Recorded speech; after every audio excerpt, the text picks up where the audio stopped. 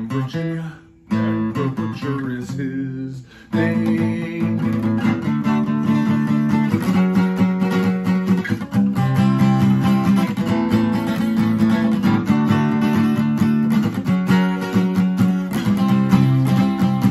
Ambrosia fakes, he